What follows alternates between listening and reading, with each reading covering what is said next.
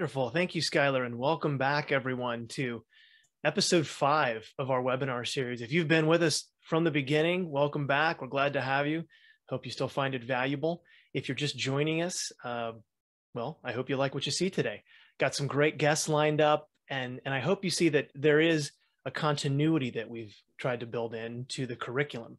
Um, today's episode uh, involving direct specialty care something that is is really timely. And i have to admit uh, surprised me. About a month ago we were down at the um, the fmma annual conference and the the the the depth of appetite among clinicians that were specialists to to, to explore direct specialty care blew me away.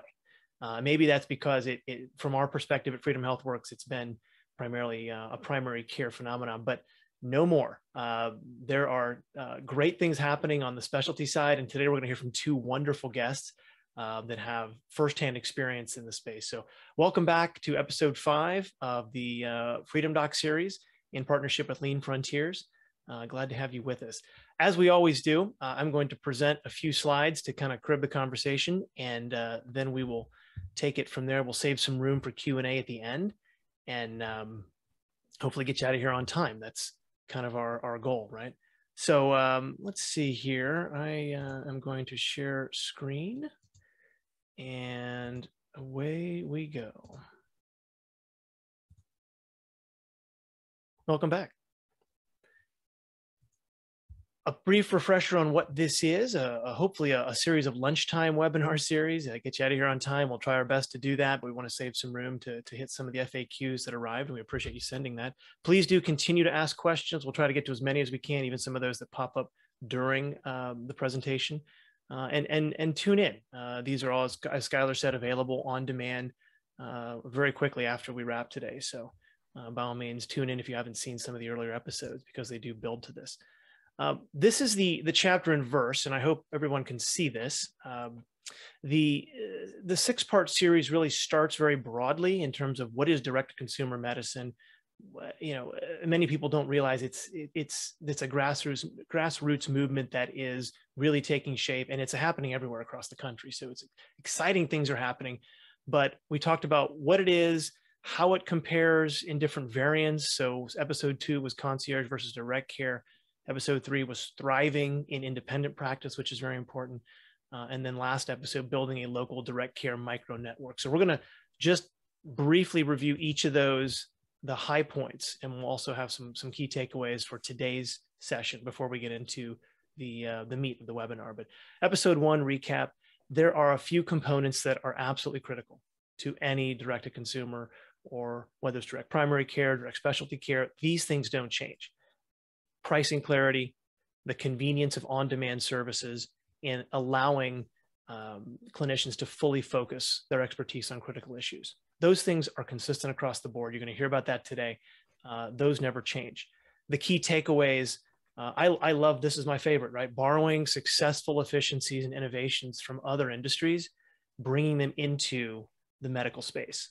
Um, there are a lot of companies doing things very well on the consumer side. And, and one thing we did talk about is please acknowledge we are in a consumer service business in medicine. So uh, let's borrow what works in other industries and import it to healthcare.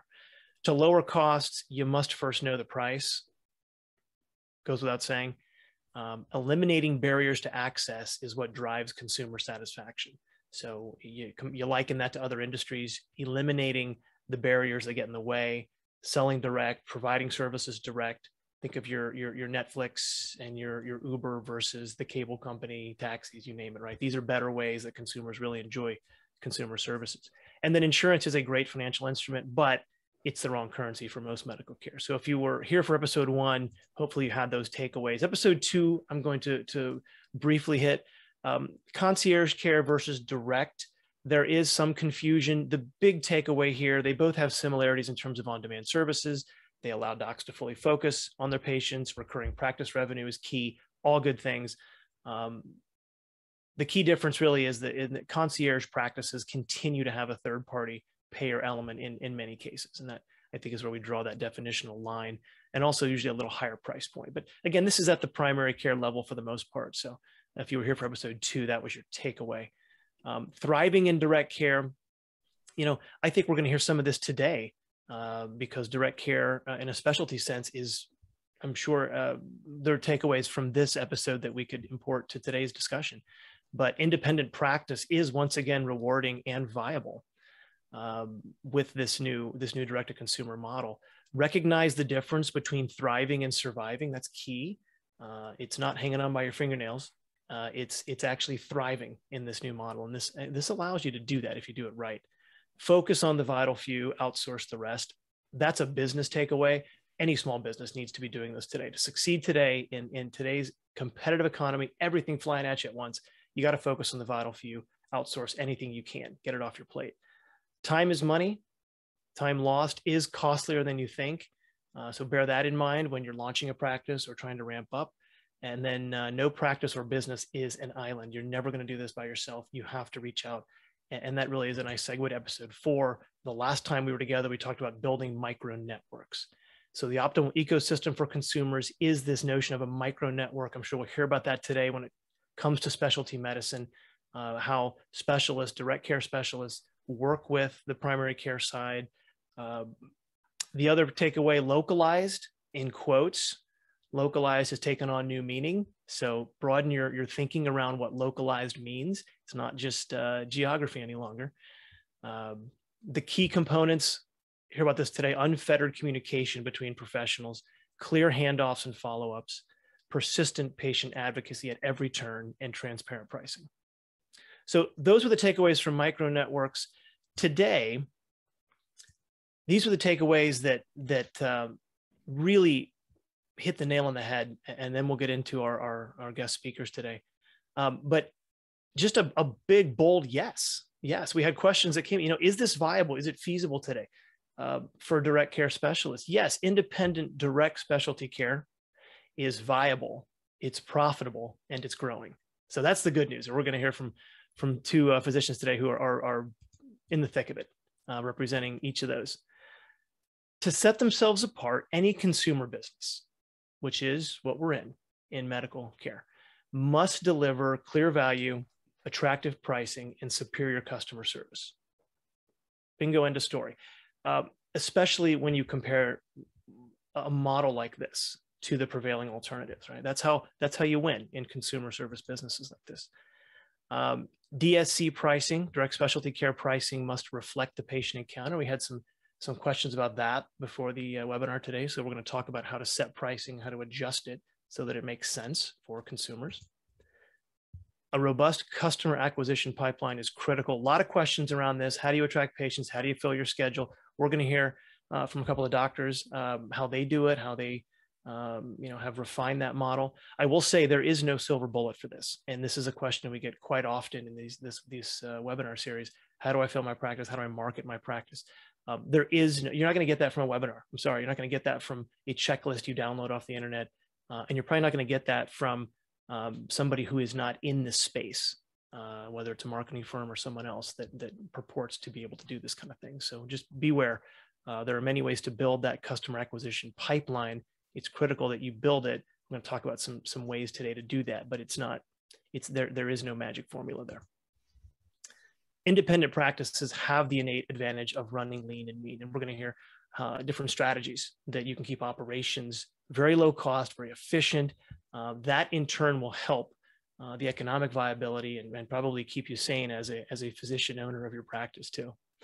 So I want to um, introduce today's featured speakers uh, and I will let each of them tell you more. But the uh, there are some um, brief synopses uh, online. So first, Dr. Grace Torres Hodges, welcome to the show today. And uh, if you would please introduce yourself just briefly, and then uh, we'll move on to the discussion.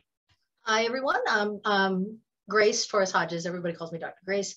Um, I have been a direct specialty care physician for five years. My my move to transition to this was after 15 years of insurance-based practice. Um, there is, like Adam said, there is no silver bullet. You you have to work if you want this to work. Um, but this is definitely, from a physician's perspective, um, a very viable model um, that returns happiness back to, to practicing medicine. And from a, a patient's perspective, um, one of the things that we learn is always to first do no harm. For me, um, doing direct care is first do no harm to my patients for sure because I'm looking at them clinically and also financially, but also first do no harm to myself. Um, you, it's hard to to continue in a third party world these days, and um, to to alleviate a lot of the stressors out there, this was a, a godsend. Wonderful. Thank you. Look forward to hearing more about your uh, symphonic career as well when we have more time someday. Dr. Girnita, welcome to the show. Uh, thank you for joining us today. And would you please uh, introduce yourself as I've, yeah, I've moved the slide along.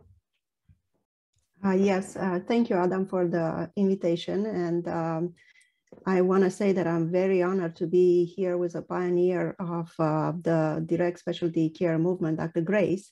Um, my name is Diana Girnita. I'm a rheumatologist, um, and I have started my um, my adventure in direct care about a year and a half ago uh, when um, I decided to start a telemedicine company with the purpose to broaden the access to rheumatology. And thinking about how I want to design my practice, I thought about what I need and what I like to do. So I enjoy spending time with patients. I enjoy educating patients, but I also um, enjoy quality time with my family.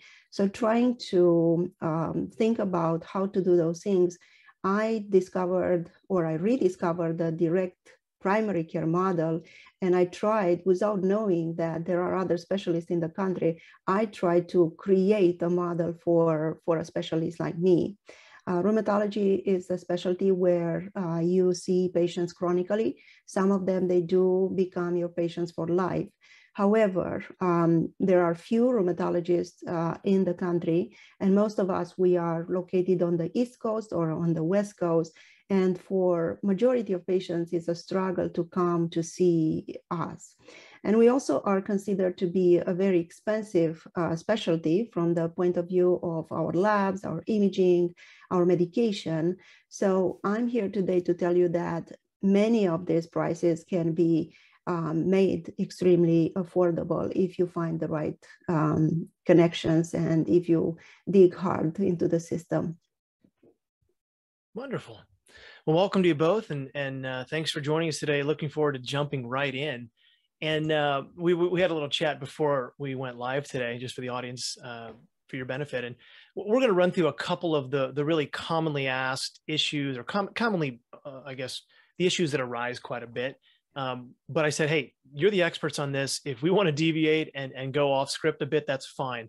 But a couple of uh, uh, just to hit it head on, uh, because I think there's been a lot of fear in the in the community. Is this even feasible?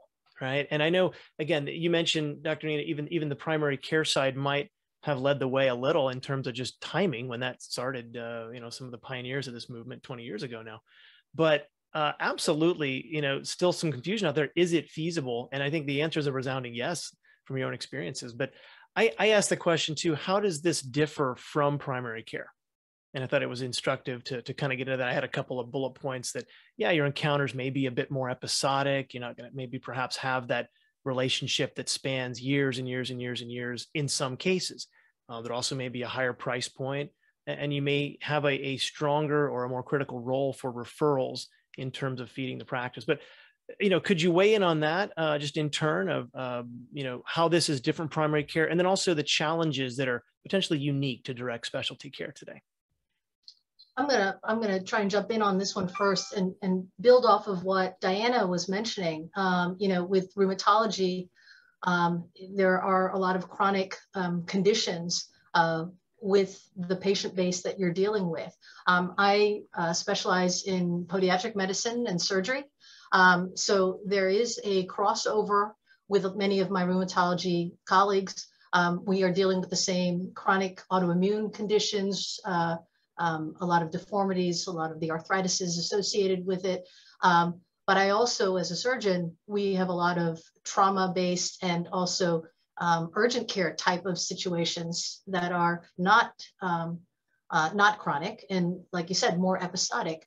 Um, that's that's one of the difficulties which um, direct specialty care has, because there are so many different specialists and models to offer care to patients that you can't have one specific one.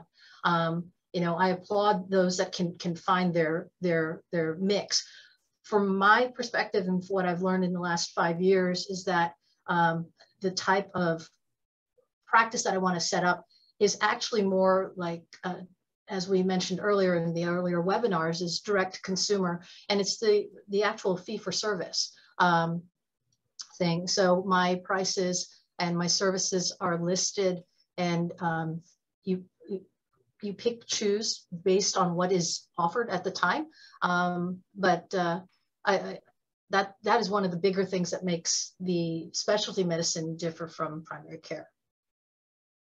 Makes sense. How about Dr. Girnita? Any challenges that are unique you feel to this this practice model? I believe we are trying to create here a model for uh, specialists, and uh, as you very well said, uh, as very well said here, there is not um, a magic formula for specialties. There are specialties like cardiology, endocrinology, um, that can provide chronic uh, management or rheumatology.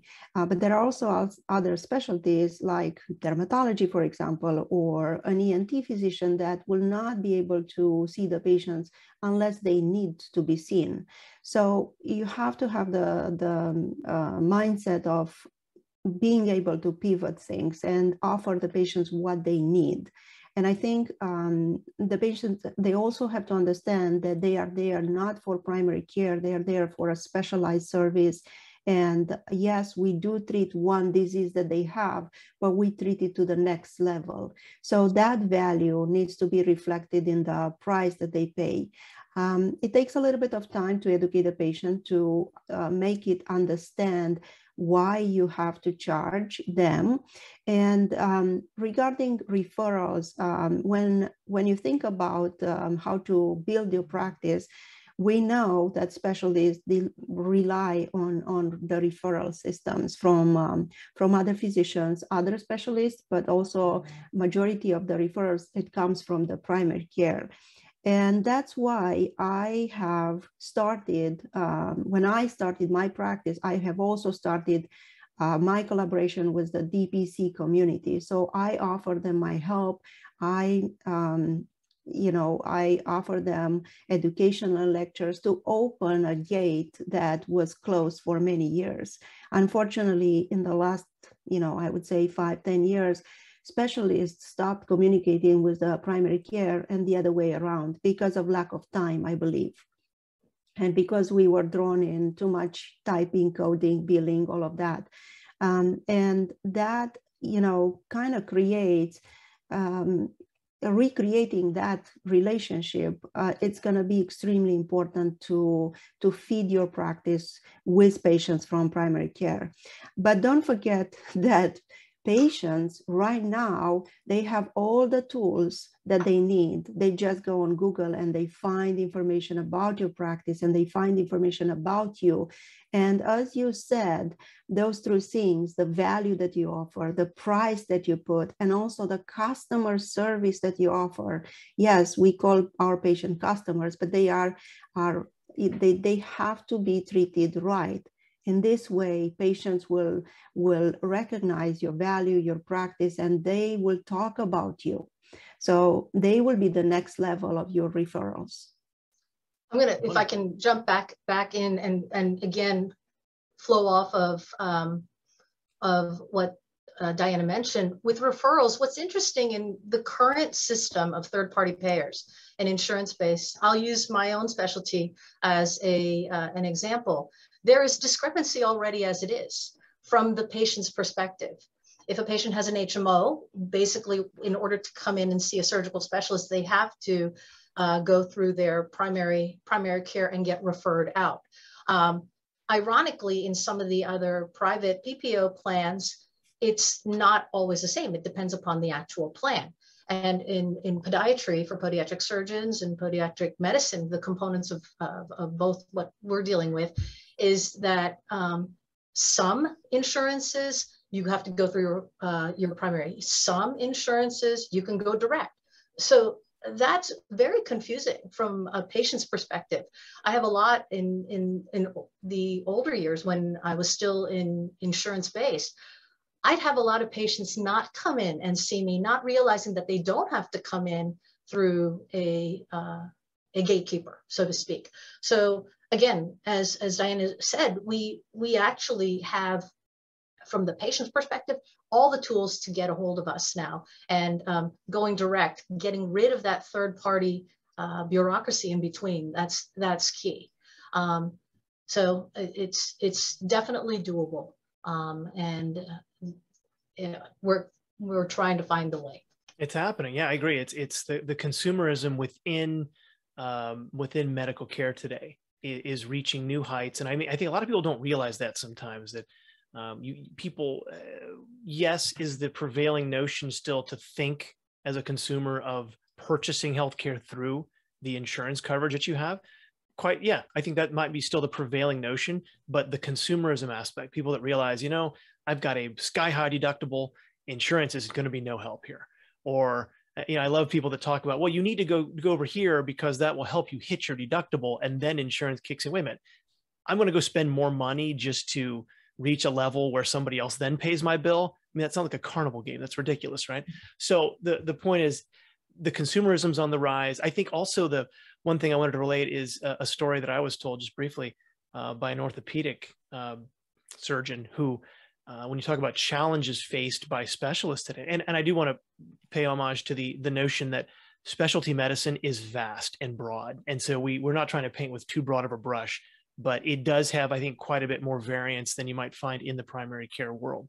So it can be a lot of different things, right? So trying to channel all that through this notion of direct specialty care, we've got to keep it, keep the definition fairly broad. But this orthopedic surgeon was talking about the reason he left hospital-driven insurance-based medicine, and he talked about the pressure placed on him. And he, I will um, um, um, not reveal the name to protect the innocent, but you know, he talked about being, you know, told that uh, every six patients that walk through that door, whether they're referred, whether they, whether they walk in on their own accord, you need to send four of the six to the operating table.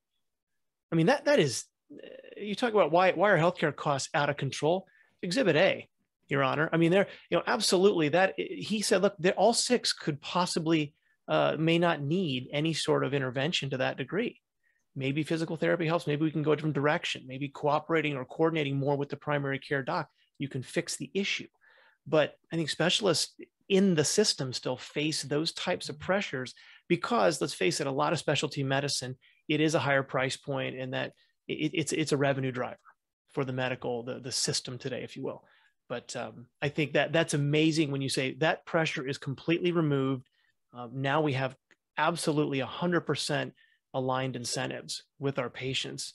Look what you can do. And so that, that's just a cautionary tale for those of us um, on in the audience today who might not be clinicians who are looking at this as where does it fit in the the notion of improving healthcare lowering cost? We're going to talk about that later on but that's that's again right there it's in the thick of it. Go ahead, Dr. Grace, please. Well, uh, you know, I'm gonna I'm I'm gonna throw in a story. Just happened just a few minutes ago. I I because I'm seeing patients this morning. Um, I had a patient that um, called us up and said that they had dropped something on their foot, um, and so you know, a fracture, possibly a fracture on on it, and you know, their choice. This is the patient's choice now. They had the choice to go over to urgent care or to the emergency room and get their foot checked you know, think about what the cost of going time for the patient, going over, being assessed by the ER doctor or urgent care physician, getting an x-ray through their system, and then doing the treatment. You know, that time and also the efforts put out by and and all the charges put out um, that that will rack up um, a bill for that patient. Patient called me up this morning, actually texted us this morning, said, "Hey, I dropped something on my foot." Called my office and I said, "Let's get them in." And so we got them in this morning. My price uh, for it is just one because it's the visit included, also the exam, the X-rays, and the treatment. Um, fortunately, it wasn't something that I have to bring to the operating room, but you know, time-wise, that took them 20 minutes, 20, 30 minutes. You know. Sure um, compared. So a lot to be said about what you were saying using the other orthopedic example too. For those of you looking at this from a lean frontier standpoint and, and more mm-hmm. efficiently engineering healthcare, this is a major cost driver, and this is how it mm-hmm. gets better. This is it. This is the solution. The next the next slide I have, and then we'll get into some FAQs. I think it really goes to the heart of how, how can specialists be successful in direct care, and um, we've talked about these three points already today, but love to hear you expound on the notion of of you know setting attractive pricing and how that really must reflect as you just started to allude to dr grace you know the the experience that the consumer or the customer the patient is really going to to walk away with. And then even something dr Girnita said you know really elevating that that level of service to something beyond you know I, I love the phrase you know exceed customers imaginations right? So you're not and, and it's not hard given how terrible the system the healthcare system is today right uh, but how you provide a higher level of service and, and, and even that, that clear, you know, cooperation handoff, that, you know, kind of that team approach that you can, you can engage in with a primary care doc. And then also we can talk about robust customer acquisition pipeline, but I don't want to do too much to talk. I'll turn it over to the experts to, to weigh in on these three points and, and anything else you think is critical to being successful in direct specialty care. I'll start with um, with the first question that you have: how to set an attractive price. I don't think that there is a formula uh, for setting up your price. I hear all kind of uh, solutions for uh, coming up with an attractive price.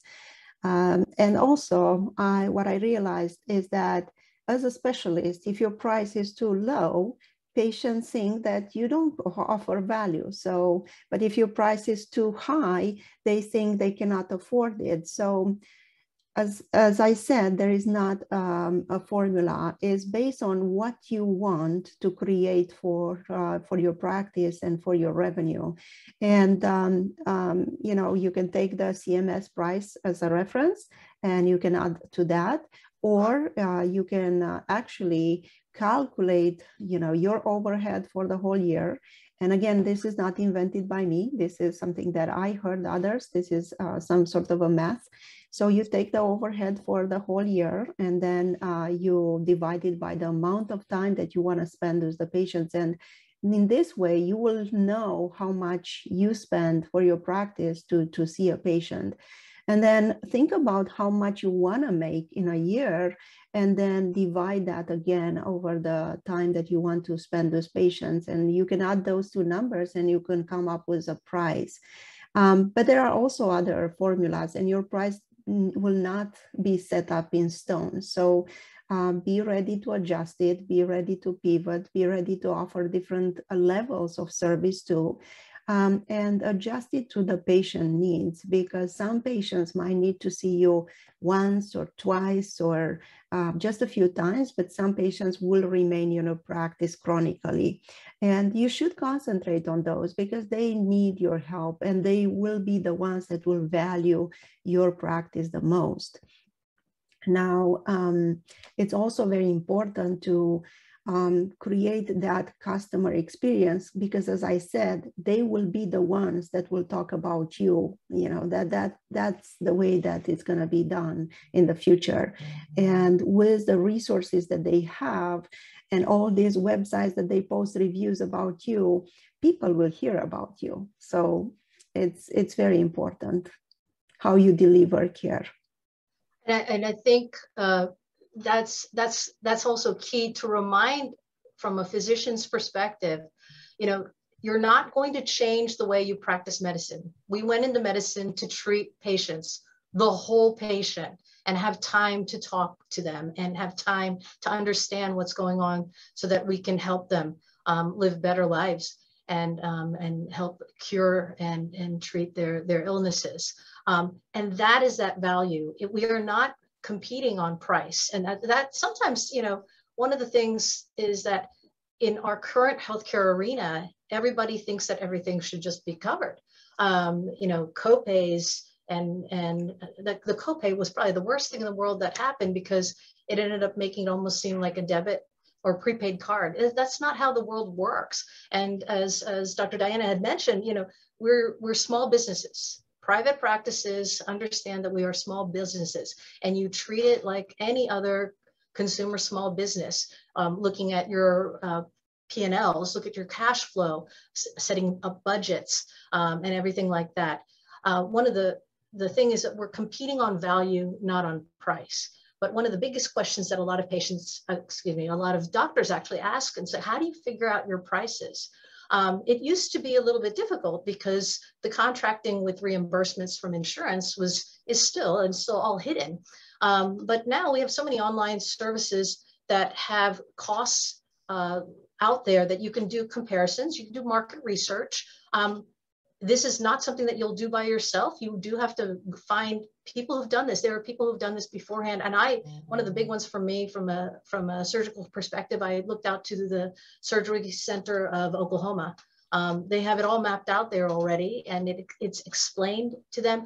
Um, you look at your local um, area to figure out um, what, what the, the fair market price would be. I talked to my patients. I bottom line talked to my patients. I said, you know, if you are living in a metropolitan uh, big time city, your price schedules and your prices for everything, it doesn't matter about healthcare, but even just for food and other things, is going to be a lot more expensive than what it would be um, in, in more rural communities. So um, looking for pricing, again, no silver bullet to figure out specifically what it is. You, you work and look at your market you look at the market that you're dealing with, which includes your consumer, in this case, our patients. Makes total sense. Appreciate you both saying that. And that, and that's something we do at, at Freedom Health Works.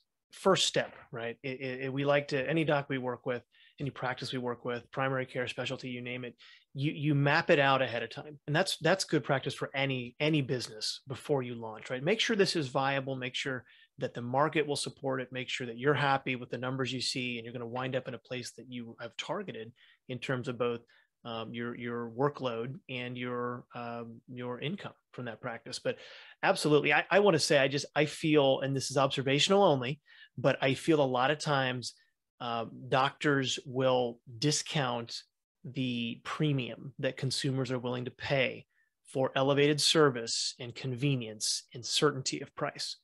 And, and by that, I, you know, sometimes, yeah, I'm sure you'll have consumers come in and they'll want to price check you versus brand X versus the inter, you know, the the insurance company. But again, people are busy today, and people recognize that good service and professionals such as yourselves that these don't come for free. And, and, and they're willing to pay for those aspects of the elevated service. And, and again, just knowing, hey, my bill will be X. And knowing that before I go in, um, don't discount that. That is absolutely valuable and, and don't undersell, don't underprice your offerings. So that's a huge mindset change for doctors. Absolutely. We are naturally altruistic. We want to help. Um, you know, we, we volunteer our services and you, you give yourself to things.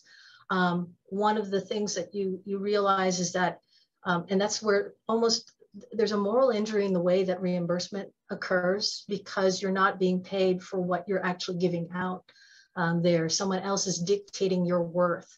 And um, the skill set, the knowledge, that's worth something. And um, it, it, it, it's still every day you have to kind of uh, remind yourself that that's that's the case. And I'm not trying to to put put us um, above anyone, but when we're used efficiently and we're actually getting reimbursed at the right levels for our specialty care, your efficient time in the office and spent there, you actually have time to help others and then give that service free. Um, sure. You know, that's that's one of those things. I have time now because I'm not having to meet X amount of patients to make the ends meet at the end of the day because I'm getting 100% instead of only 50% on the dollar um, and I can go out and volunteer and you can discount and you can and, and make payment plans, um, you know, all, all those things. So awesome here, stuff. Yes, here I have to agree because you have the liberty to choose what you want to do and how you want to price yourself. And uh, you also have the time to volunteer, as Grace said. Um, I'm teaching to one of the universities. I'm continuing to teach rheumatology. I wouldn't be able to do that if I would be in a traditional practice. And in addition to that, I think that this mindset that we have as physicians not to value ourselves, not to value our profession, it has to change. Um, we are very respectful towards all the professions, and I teach my kids to respect everyone because everyone has a role. Um, and we never, never comment when we call a lawyer and we, you know, they ask a payment and, uh, or the customers never comment on that. Or when you kind of call the plumber to come to fix your sink or when you call uh, your accountant to do your taxes. So you know that you have to pay that value. But when it comes to physicians, patients and customers or have to understand we have to be paid too. And we are not paid by their insurance. We are paid by them. You know if if they make the payment that conception that misconception that they pay the insurance is not helping us. So uh, many times i have these discussions with my patients that insurance um, or healthcare insurance does not means coverage and does not means that everything is paid and does not mean that you have access. That's that's valuable for them. Access and the time with them is extremely valuable. Once they understand that with their own insurance, they don't have access, they change their mind. They understand our value. And I think not- I would suggest many times just to jump in though, and I, I didn't I would bet that the pricing that consumers will experience in your practices or in many like yours in direct specialty care, you mentioned uh, Dr. Smith's uh, Surgery Center of Oklahoma, in the end, those are far below what they're going to pay, even with insurance, in terms of out of pocket and total cost in the system. So I just want to bring that up that you know this is this is direct to consumer. It's a better quality deliverable, and in many cases, if not all cases, it actually is less expensive in the long run. Exactly. And, you know, there's also personal responsibility there's something to be said about when just like when you were little and your parents were trying to teach you the value of of, of money um, and putting value on on things when it was your turn to spend what grandma and grandpa gave you money wise from christmas to buy your own toy that toy was so special to you what's what's really cool about what I've seen, at least a trend, and I really have I should do maybe a, a, research on it a little bit more. But my patients are healthier. Um, you know, there are we, we have very very sick patients because we deal with a lot of diabetics we deal a lot of a lot of terminal illnesses and everything like that but when patients take control of their own health care as far as who they're receiving their services and they understand the value of that they pay attention to themselves if it's being done for you because you don't know what the prices are when insurance and you just pay your copay um, you, you just assume that someone's there to take care of it. But this actually puts a little bit also of onus on the patient again. Um, and we have healthier healthier groups. We can do more to be preventative rather than being it's like being proactive instead of being reactive. Sure. No, I love it. I, and we'll move on. I, I, appreciate everybody hanging out today. We're going to go a little bit long, but I just had this discussion this weekend with a, a friend of mine, and and he was uh, weighing the options in front of him for a specialty care visit. And he was saying but again i can stay in network and you know they're are they a network? Are they not? And i go do you know what that means? That that's like walking into to, to starbucks and you say well what's the price of a cup of coffee? Well i don't know but my network's already renegotiated that or pre-negotiated that. Well does that give you any comfort? Well yeah because they've negotiated a price. Well what if the price for a cup of coffee is $57 and oh they're going to get you half off lucky you right I mean, I was I, like, that's I, ludicrous. He's like, yeah, that's right. I want to go to someone like yourself that actually tells me the price up front. Anyways, I, I just I love that. Intriguing. I yeah. love that. Um, well, actually, actually, a friend of mine mentioned something to me. If you go to a restaurant um, and you know you don't know the price is there, are you going to order the best steak and the best bottle of wine?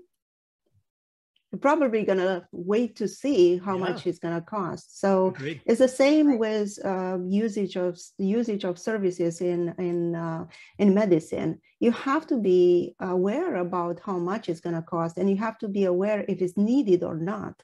So that's the beauty that I have in my practice that I can customize the, the care based on the patient needs. I don't throw 10,000 labs there just because I can.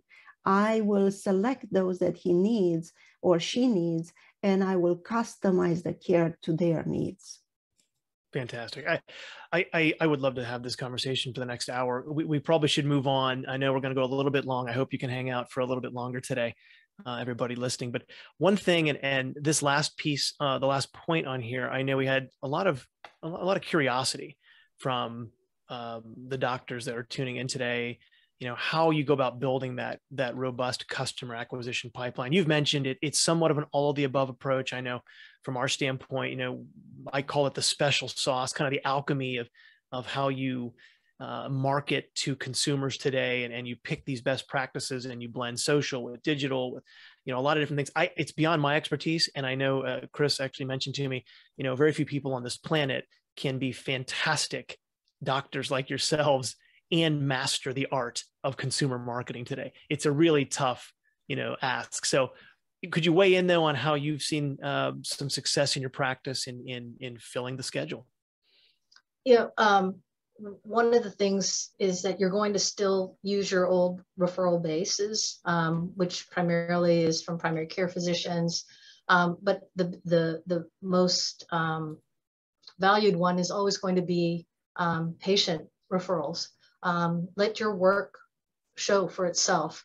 All of these insurance-based metrics for quality, the most important quality is whether or not a patient will return to you and, um, and they're satisfied and will refer someone else. Um, as, you know, as far as um, more, more doctors are actually doing this than they realize. I tell my patients all the time, ask wherever you go, whether it's a physician, a facility, uh, a lab, or a hospital, ask what's the cash price? If they're able to give you a cash price, they have the option to go direct care. Um, and that's that's out there. You just a lot of people don't realize it. My husband and I the other day were just realizing in the midst of all of uh, these discussions that we got we got swayed by that when our um, our children's um, deliveries were not covered by our insurance and we paid the insurance rate. Um, little did we know back then, we didn't know how to ask for the cash price. And so I tell my patients now, ask for the cash price. Um, but um, it, it, it is, you'll still use all your regular marketing. You don't, you don't sit on your laurels. Um, you always make sure that you're out there and showing people what you do and, and let your work speak for itself. I have to agree. Um, I think uh, you have to build your own referral system from primary care physicians to other specialists. Pick up the phone and call them and talk to them about their patients. They will really appreciate that.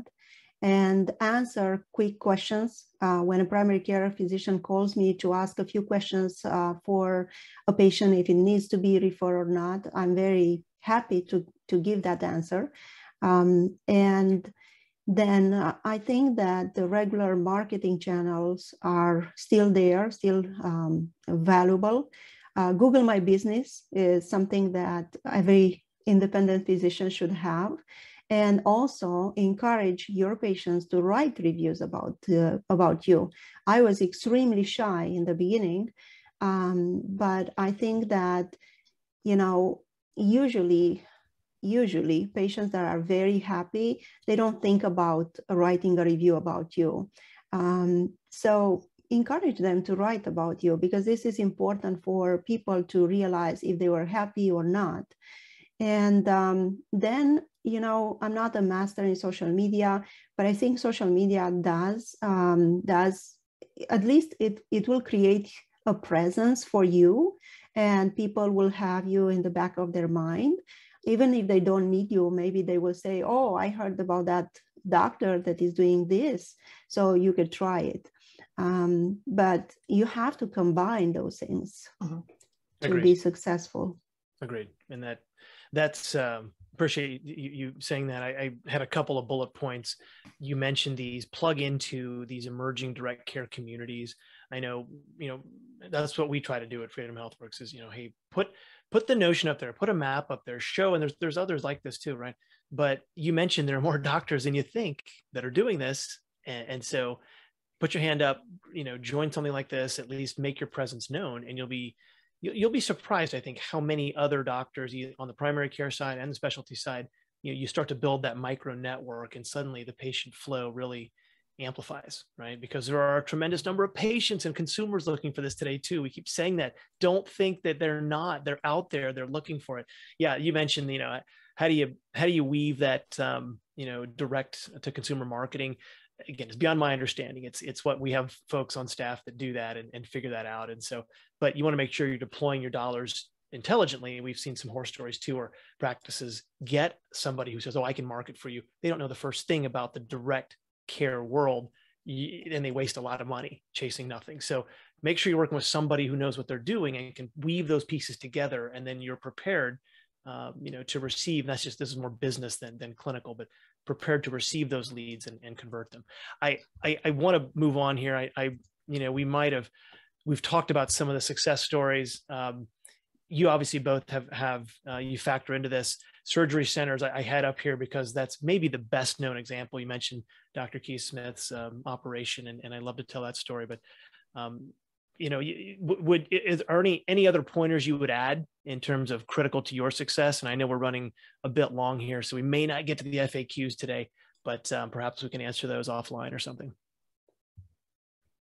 Yeah i the example that i gave earlier the urgent care type uh, situation you know that that's that's a big thing um, convenience factors you know you're available for your patients i will tell you covid probably was one of the big things that um, that actually helped us. I, I, hate to say it that way. If there's any blessing from COVID, um, is that you know when everything shut down in March and April, um, the hospitals were were getting rid of elective procedures and everything like that.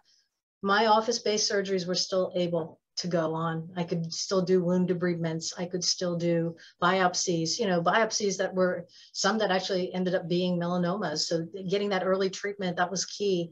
Um, you know, I was still able to see patients without exposing them to um, a hospital hospital setting.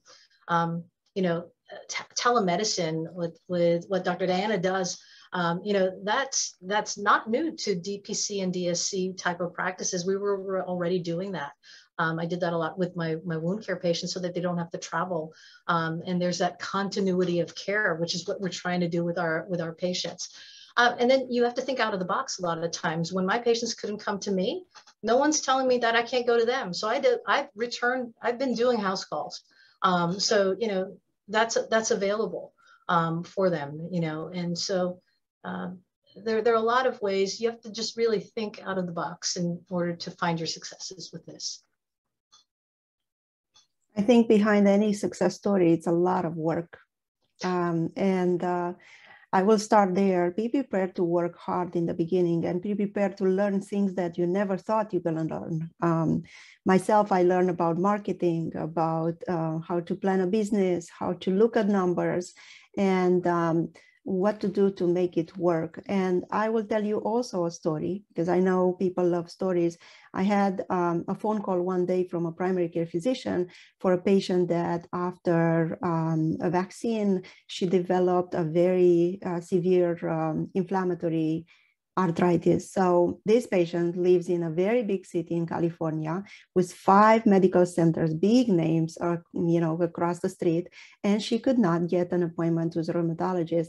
I've seen her the next day, and because she had a very high deductible, she was very cautious about the cost. So I offer her the cost of everything, the treatments, um, the laboratory workup, the imaging workup, and uh, my consultation.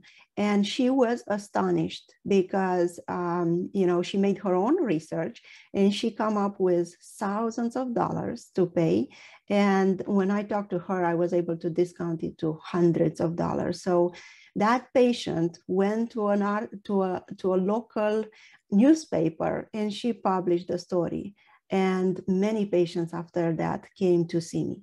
So it's the power of your work that will drive your success.